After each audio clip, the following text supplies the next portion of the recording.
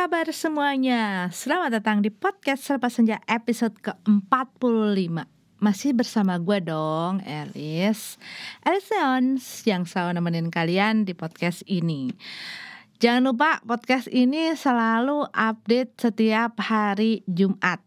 Waktunya um, Itu yang masih gue lagi perjuangkan Tapi yang penting setiap hari Jumat gue nongol gitu ya. Kadang-kadang kepagian, kadang-kadang siang, kadang-kadang kemalaman.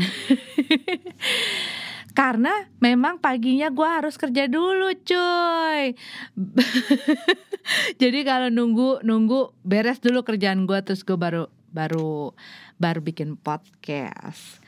Um, selamat datang semuanya, salam kenal buat yang baru mampir ke sini uh, apa kabar? Salam kenal. Uh, uh, nama saya uh, Elis. ya kan kayak baru kenalan sama siapa gitu kan malu-malu anjing.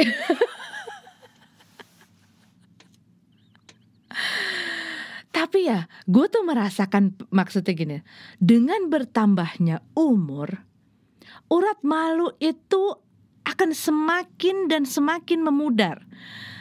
Yang du dulu tuh gue kalau misalnya baru kenalan sama orang, apalagi waktu zaman-zaman masih sekolah gitu ya, kuliah, um, apalagi kalau misalnya kenalannya sama lain gender gitu ya, gitu-gitu tuh walaupun sesama gender sih maksudnya sama teman gitu ya masih agak awkward masih banyak diem nggak tahu ngomongin apa. Gue tuh cuman kelihatan dari dari penampilan luar gitu cuman memang gitu orang kalau ngelihat gue awalnya gitu ya ketemu muka pertama kali itu pasti nyangkainnya gue itu orang yang judes sok sombong, angkuh gitu kan. Tapi enggak, emang muka gue aja begini desainnya. Sebenarnya gue enggak. Sebenarnya gue tuh ya kalau kayak gini ya, lu udah udah banyak dengerin misalnya lu udah biasa nongkrong di sini. Gue orangnya banyak ngobrol, banyak ngomong gitu loh. Tapi mungkin di saat gue udah nyaman, udah udah apa ya, udah mungkin uh, udah asik lah gitu loh udah apa ya punya punya ada satu ada satu ada satu connection gitu loh tetapi kalau misalnya waktu baru-baru dulu dulu itu gue bukan orang yang tipikal bisa memulai atau membuka satu uh, satu perbincangan yang yang asik kalau cuman berdua. Jadi pasti awkward gitu loh. Kalau orangnya juga sama pendiam. Kalau orangnya juga sama-sama um, sama-sama apa ya? Sama-sama sama-sama canggung-canggung gitu, gitu ngerti kan maksud gue. Cuman pas begitu udah semakin ini pas lagi kuliah sih mulai mulai semakin berkurang makanya tadi gue bilang semakin umur semakin semakin kurang itu gitu loh. Semakin yang tadinya malu jadi nggak tahu malu. Karena dulu gue tuh kalau misalnya kenalan gitu atau dikenalin sama orang tuh habis itu ditinggal kan suka begitu kan dikenalin terus tinggal ya bingung lu mau ngomongin apa? Gitu kan lu mau ngomongin apa sama gue gue mau ngomongin apa sama lu mau ngomongin oh ya sekolahnya di mana? Kelas berapa? Basi banget orang udah diomongin tadi dikenalin gitu kan dikenalin oh nama gue ini dari uh, eh, SM SMA sinar petang petang malam malam melintang ya kelas sekian. Ya kan udah kenal eh dia temannya si ini. Gue pasti udah tahu dia kelas berapa. Uh, dari sekolah ini udah jelas gitu. Terus gue mau ngomong apa? Nih lagi main di sini. Hah? Lagi main. Yang ada celingak celinguk gitu kan ya gigitin sedotan. Zaman dulu cuy. Kalau lu uh, mungkin udah agak civilized. Kalau zaman dulu gue beli minuman tapi ada kayaknya zaman-zaman sekarang juga masih ada. Zaman dulu gue beli minuman itu dituang ke dalam plastik. Plastik kasih sedotan. Nah sedotan itulah yang dibawa-bawa ke mana-mana gitu kan. Nggak tahu zaman sekarang tuh masih nggak sih di masih ada seperti itu mungkin masih ya. Tapi kan sekarang udah mulai banyak uh, yang minuman kemasan segala macem yang tinggal dibawa aja dibawa aja. Karena kalau seingat gue zaman dulu itu botol-botol masih pada beling semuanya. Jadi kita nggak bisa bawa itu ke mana-mana karena orangnya kalau mau refill dia harus ngembaliin itu botol. Tuh gue jelasin. Kalau zaman sekarang kan banyak kan uh, udah di dalam kemasan plastik. Nah yang ada sambil sok-sok imut gigit-gigitin sedotan. Which is gue nggak tahu apa aja tuh yang ada di dalam sedotan itu. Bayangin itu itu kakang-kakang jual uh, jual itu kan ada di pinggir jalan gitu ya uh, tangannya dia ya pokoknya udah gue lupain lah itu apa aja yang masuk iya sambil di tangan memegang minuman ya. Ya udah tau lah zaman dulu tuh nggak banyak pilihan. Zaman dulu tuh cuman ya teh botol. Pilihannya cuman itu kan teh botol Coca-Cola Fanta terus apa kopi kopi krim apa ya namanya ya yang soda tapi kopi gitu. Itu Mirinda uh, apa lagi ya Oh sama itu limun. Nah gue tuh dulu tuh suka banget tuh minum limun itu. Ya berhubung, berhubung gue harus me menyesuaikan kemampuan uang jajan gue gitu kan supaya aku bisa jajan yang lain berarti gue nggak boleh sok-sokan minum-minum uh, hal-hal yang mahal. Karena ya iya teh botol sama uh, apa ya ya, ya sama soda-sodaan itu itu kan harganya aduh gue lupa deh. Tapi kalau limun itu jauh sekali. Sehingga kalau lu lu beli minum lu masih bisa beli somai lu masih bisa beli batagor lu masih bisa beli uh, bakso terlalu mahal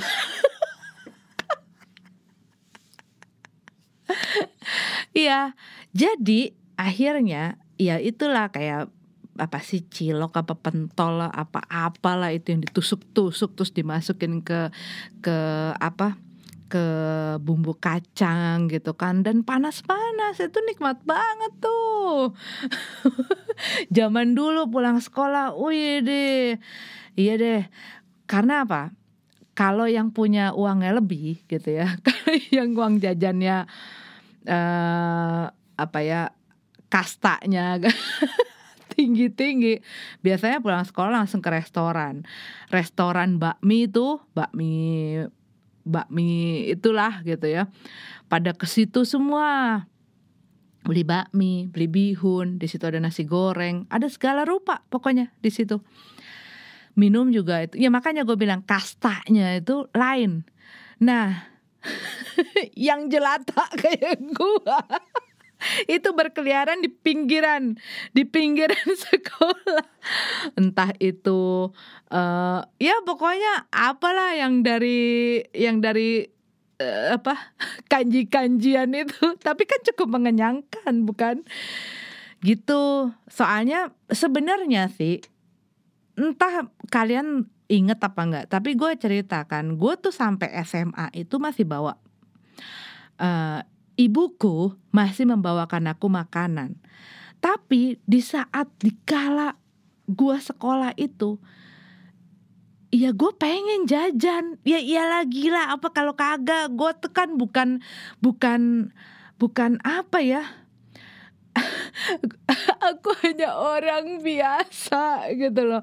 Yang pen, yang ter, terdiri dari daging dan, dan dan darah dan tulang dan kulit itu yang namanya godaan-godaan iman itu dulu di sekitar sekolah gue itu kan jadi sekolah gue itu sebelahan dengan sekolah lain Di depan sekolahnya mereka udah rame. Depan sekolah gua udah rame.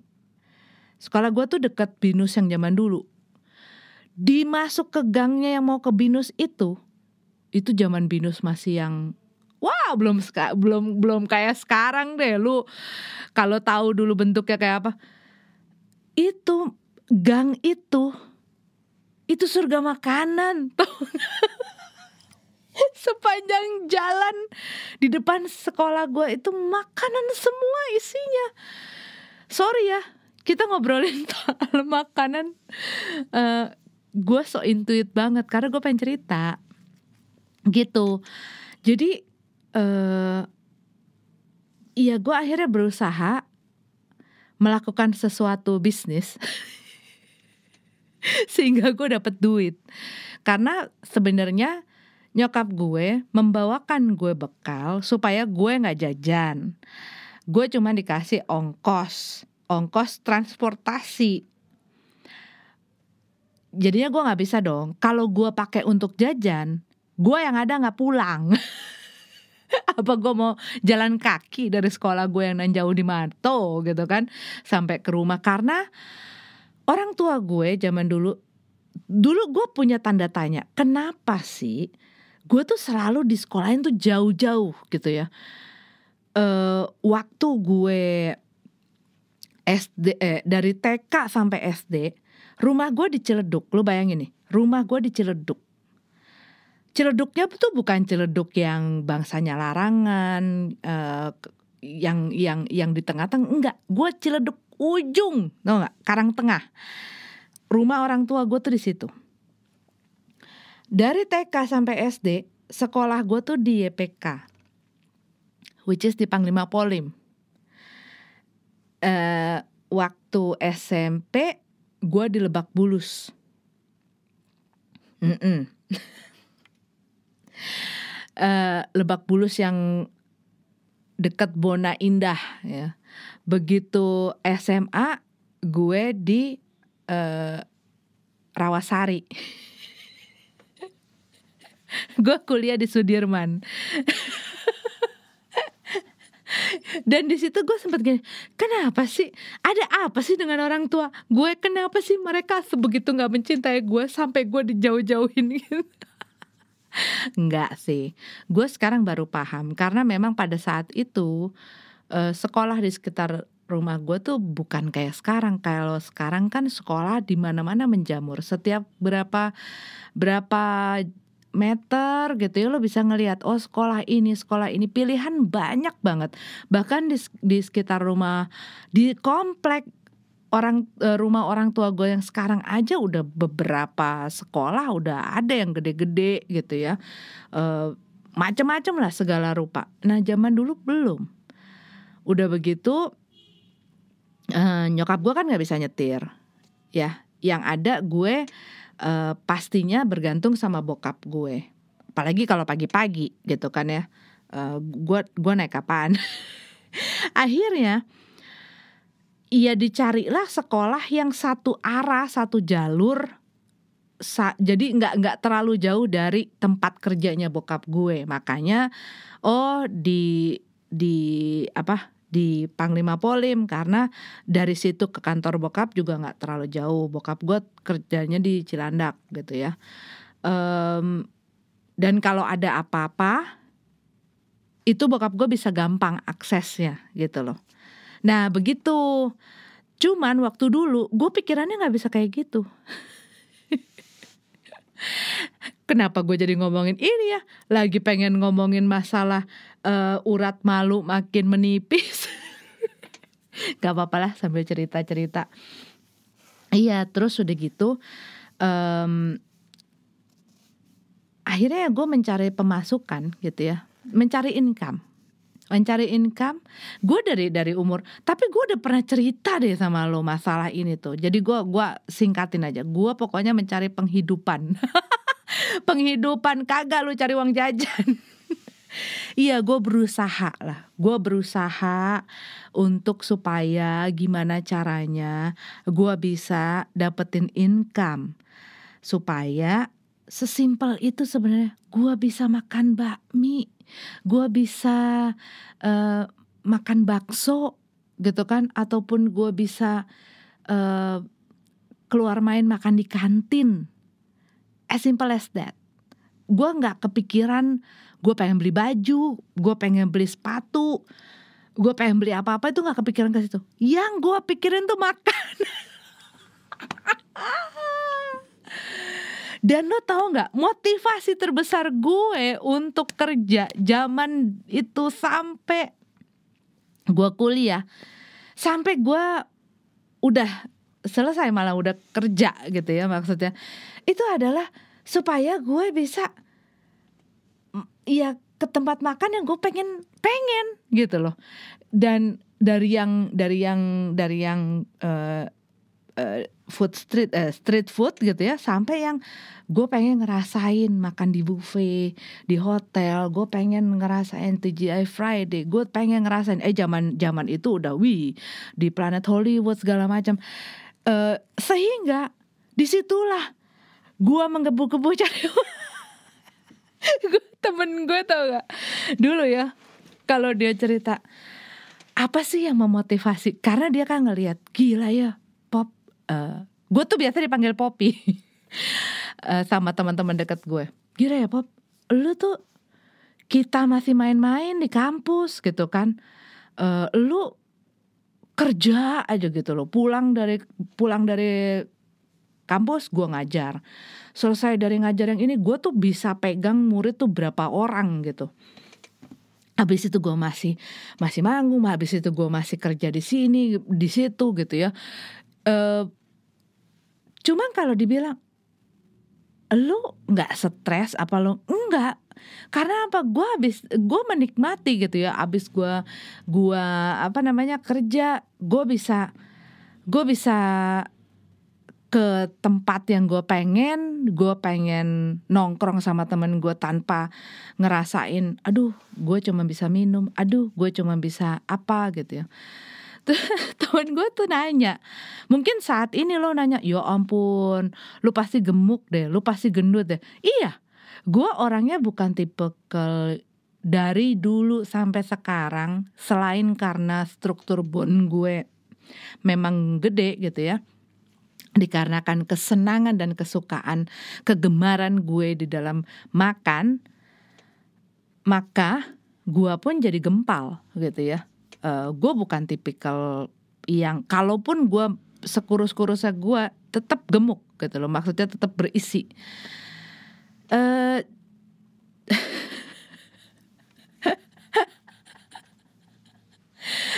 iya dan udah gitu gue jadi ketawa karena teman gue tuh tadinya tuh uh, apa ya dia tuh terinspirasi banget ngeliat betapa aktifnya gue cari kerja cari uang cari kerja cari uang gitu ya. Gue selalu bergerak ke, ke sana kemari gitu kan. Terus dia nanya apa sih yang yang apa ya yang menjadi semangat lo dan yang memotivasi lo gitu ya. Mungkin bahasanya nggak kayak gini agak lupa. Tapi dia menanyakan apa sih yang men-trigger lo? Sampai lo tuh ngotot banget cari uang gitu. Gue ceritain. Dia ngomong set se, se secatek itu pikiran lo gue bilang well it's enough for me uh, maksudnya ya cukup buat gue cukup untuk bisa memotivasi gue dan memacu semangat gue segila ini. Apalagi zaman dulu ya waktu gue belum uh, merambah ke eh, daerah-daerah kayak Muara Angke, uh, terus apa sih yang kayak green ga, uh, green green apa sih itu? Apple eh, green? Apa apa ya? Pokoknya daerah-daerah mau ke Angke gitu kan. Itu kan juga kan sarangnya makanan. Belum gue abis itu dapat lagi murid di daerah Sunter gitu. Lu bayangin aja tuh itu itu yang namanya perjalanan gue ngajar itu jauh bukan dekat. Di Angke lah di Sunter lah dan di situlah gue melihat wow ini surga makanan kelapa gading. Semakin gue tahu eh ternyata tempat nongkrong untuk kuliner itu bukan cuma depan Abjay sama sekitaran uh, Panglima Polim depan Bakti Asih pinggiran sekolah OL sama di di Blok M dan segala macam. Ternyata di sana rame bener. Jakarta lah segala macam. Itu akhirnya gue merambah ke situ. Wow banyak banget gitu ya. Setiap kali mau mau ngajar tuh gue ngeliat wih di gila. Gila. Iya. Dan akhirnya ya di situlah uh, semangat gue karena ya gue pengen uh, kalau misalnya abis ngajar gue bisa singgah abis uh, misalnya ngajar dari hari Senin sampai hari Jumat Sabtu Minggu gue pengen nongkrong jalan sama teman gue dan gue bisa menikmati hasil kerja keras gue. Nah, balik lagi waktu SMA juga gitu. Waktu SMA gue juga begitu. Gue pengen gimana caranya supaya gue bisa? Gue bisa kayak orang-orang dari kasta itu yang kalau pulang dia bisa makan di tempat Chinese food gitu kan. Bahkan ada yang udah kalau yang udah tinggi banget kastanya itu makan tengah bo gitu kan. E, makan nasi rame-rame terus tengahnya tuh ada capcay lah ada puyung hai lah ada ayam kuluyuk lah dan lain sebagainya. Lu bayangin aja gue yang ngiter-ngiter gimana nggak menggebu-gebu akhirnya gue bisa gitu ya akhirnya gue bisa. Dan itu balik lagi. Ya dulu biasanya kita makan pentol di awal-awal itu gitu ya ya kalau lagi dapat cuan banyak gue bisa ke sono. Kalau enggak ya balik lagi ke hal-hal seperti itu kan. Ya cuman waktu zaman itu memang uh, agak-agak kurang gitu ya. Maksudnya uh, apa ya? Cuman mungkin pengetahuan juga kali ya. Belum terlalu banyak kenal orang belum terlalu banyak tahu orang uh, ilmu komunikasi juga kurang. Tapi begitu mulai mulai kuliah, mulai tahu how to interact with other people, jadinya ya kalaupun ketemu sama orang yang dari belum kenal sama sekali bahkan nggak dikenalin sama orang gitu ya tahu how to gimana sih membuka komunikasi dan membuat komunikasi itu bisa ngeflow dengan enak. Bahkan kalaupun ketemu sama orang yang apa ya yang mungkin nggak doyan ngomong ataupun uh, orang yang juga pemalu gitu ya uh, bisa lah gitu loh mem membuka conversation sama bisa bikin dia apa ya karena kadang-kadang gini orang kan kalau misalnya lagi baru ketemu gitu ya kita kadang-kadang suka melontarkan satu statement yang mati gitu loh. Maksudnya tidak beranjak ke tempat lain tapi berhenti di situ aja gitu loh. Kadang-kadang kalau kalau misalnya gini uh, eh kamu mau ke mana gitu kan? Misalnya ke rumah sakit. Biasanya yang mematikan conversation itu adalah oh titik. Terus sudah. Nah, tapi kalau oh ya ke rumah sakit. Ngapain? Siapa yang sakit? Gitu. Itu kan ber oh ini saya atau enggak enggak saya cuma mau ketemu dokter atau up begitu dia ngomong oh mau check up misalnya uh, emang ada masalah apa? Kalau boleh tahu loh gitu kan. Nanti kalau misalnya ya ya hal-hal seperti itu gitu loh. Tapi masih tahu batas-batas yang bisa di dipertanyakan atau diomongin. Nah iya ya sekarang itu kadang-kadang uh, kadang-kadang malah gue di tempat yang tidak gua nggak ada kebutuhan dengan orang itu bahkan gitu ya. Kayak misalnya lagi nunggu lagi nunggu misalnya di satu ruangan menunggu satu giliran gitu ya. Ngelihat ada orang ya itu gue bisa bisa timbul keberanian untuk ngajakin ngobrol si orang itu gitu loh. Ngajakin ngobrol si orang itu uh, dan akhirnya jadi ngobrol panjang lebar dan akhirnya itu bikin uh, apa ya bikin nunggunya jadi nggak kerasa lama gitu kan jadinya asik. Tapi memang kalau di gue ngelihat gue yang dulu nggak kayak begini. Nggak nggak nggak apa ya nggak yang kayak sekarang lah gitu ya. Kadang-kadang juga kalau misalnya ketemu sama uh, apa ya temennya laki gue gitu apa ketemu sama orang tuanya anak gue ataupun ketemu sama temennya anak gue ya bisa aja gitu loh uh, terjalin conversation. Dan gue juga oh jangan-jangan. Urat malu gue makin tipis. Tapi apakah itu atau pengalaman kita yang makin tinggi Cie, pengalaman ilmu, ilmu makin tinggi enggak maksudnya udah makin tinggi jam terbangnya gitu ya. Uh, sehingga ya udah bisa menguasai keadaan, menguasai situasi gitu ya. Ngelihat orang kayak begini, sikapnya kayak begini gitu kan kadang-kadang ada orang yang nggak bisa membaca nggak mem, bisa membaca suasana loh. Kadang-kadang ada orang yang memang jangan ganggu-ganggu gitu kan. Ada loh orang yang misalnya kayak begitu. Nah, gue kalau udah ngelihat ada orang yang memang dia tidak suka di, di, diganggu gitu ya, ataupun dia dia nggak pengen ngobrol, ya gue langsung oh dia nggak mau ngobrol dalam hati terus ya udah tinggalin gitu kan atau stop it gitu. Itu itu kayak udah itu secara natural kali ya karena sudah mulai banyak uh, ngadepin orang juga dan kadang-kadang jadi bisa ngelihat uh, indikasi-indikasi gitu loh. Orang ini tuh sukanya ngobrolin apa. Orang ini tuh nggak uh, suka misalnya ngomongin apa. Hal-hal semacam kayak begitu tuh kan selain kita diminta peka ya kita juga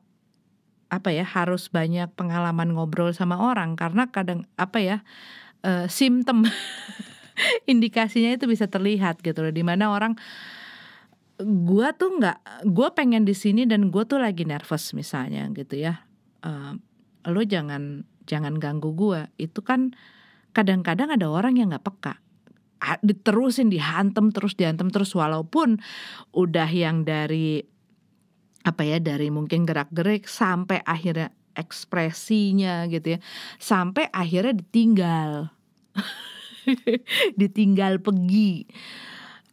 Itu pertanda pertandanya tuh udah kayak mungkin bikin pelang gitu ya. Jangan ganggu gue sampai pindah tempat duduk. Itu kan jangan sampai gitu ke situ. Gitu. Tapi sekarang lumayan sih gitu loh. Sekarang eh, apa ya? Gue kali malah kayak kalau udah ngomong terus-terusan malah nggak bisa di stop gitu kan. Uh, dan gue tuh kalau udah cocok gitu ya kayak gue kalau ngobrol sama sepupu gue ngobrol sama hopeng-hopeng gue gitu ya teman-teman deket ngobrol sama laki gue gitu ya. Itu tuh bisa yang bisa yang sampai begadang sampai berjam-jam lupa waktu. iya loh. Kita kalau ngobrol, ngobrolin apa, seliweran, ke mana-mana. Itu dari zaman dulu tuh kalau misalnya gue sama temen deket ataupun sama sepupu deket gitu ya. Kalau kita udah misalnya weekend atau lagi libur, terus nginep gitu di salah satu rumah gitu ya. Terus udah gitu ngobrol itu bisa yang bisa yang dari bisa yang nggak keluar-keluar kamar cuman ngobrol aja ngobrol ngobrol ngobrol. Zaman dulu belum ada yang namanya tiktokan belum ada yang namanya uh, sibuk cek medsos medsos gitu kan ya IG lah segala macam belum yang sibuk selfie selfie benar-benar yang kadang-kadang kita cuman just duduk aja gitu ya duduk di lantai sambil ngobrol-ngobrol dan itu bisa berjam-jam. Kadang-kadang sambil baca, kadang-kadang sambil kutrek-kutrek apa gitu kan ya, atau kadang-kadang sambil yang satu um, ribetin rambutnya yang satu gitu ya, atau enggak sambil sambil pakai-pakai apalah gitu. Tapi benar-benar yang ada human connection tau nggak sih? Ada ada apa itu? Connection people. Lo apa lagi sih? Iya jadi benar-benar kayak pulang sekolah gitu pulang sekolah kadang-kadang nyokap gue nanya kamu ke mana aja sih sampai sore baru nyampe rumah? Gitu kan. Iya gue di rumah temen gue. Ngapain? Ngobrol. Ngob makan siang ngobrol gitu ya. Nggak ngelakuin yang lain-lain enggak ya ke sat, salah satu rumah temen dan ngobrol aja. Padahal di kelas waktu sekolah juga kita ngobrol. Cuman entah kenapa seneng aja gitu pulang sekolah mampir lagi ke salah satu rumah temen terus nongkrong terus ngobrol.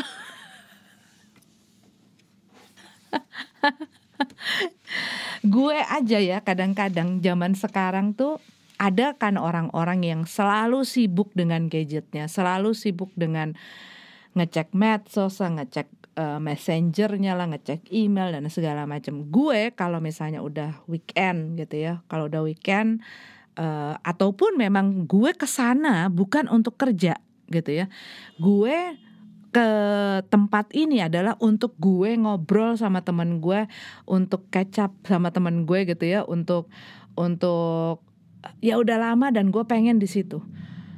Yang ada gue selama di situ gue nggak akan ngecek ngecek handphone. Itu handphone masuk di dalam tas gue dan gue nggak keluarin. Cuman kan ada ya, kal tapi e, kalau teman-teman gue yang udah deket-deket banget gitu ya sama sepupu gue yang udah deket banget, itu gue juga ngelihat mereka kurang lebih hampir sama.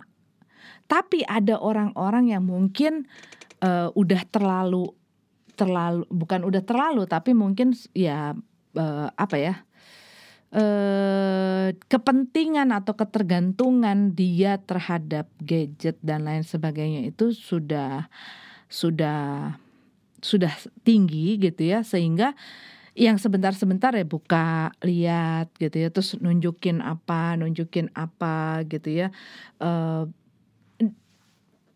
dan akhirnya kayak kalau gue pengen ngeliat itu kan gue bisa langsung dong gitu loh. Maksudnya gue bisa kok ngeliat itu nanti pas pulang gue tinggal buka gitu loh.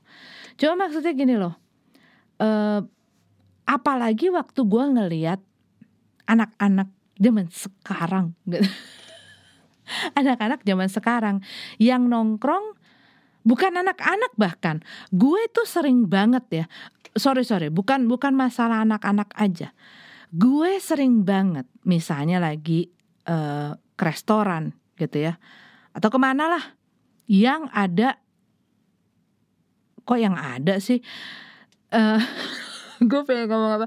Gue ke satu tempat kayak restoran ataupun tempat makan gitu ya. Bahkan mungkin yang di uh, ya di mana aja lah.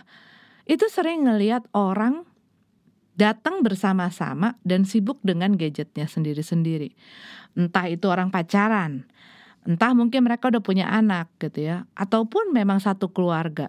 Itu gue nggak ngelihat cuma satu dua tiga empat lima enam kali. Tetapi sering kali.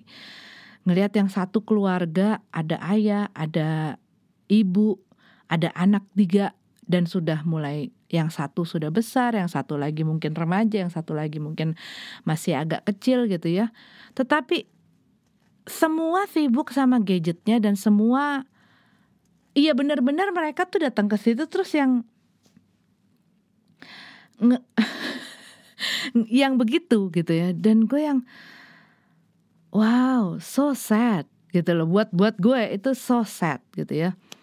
Uh, ya kan? Jadi kayak yang uh, kayak orang pacaran misalnya ada orang pacaran dua-duanya sibuk bukain handphone dua-duanya gitu Terus gue suka gini, aduh gue bersyukur banget. Gue bersyukur banget loh.